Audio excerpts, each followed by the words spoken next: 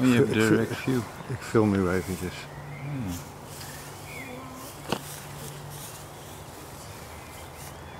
Heb je dan de autofocus eraf? Nee. nee.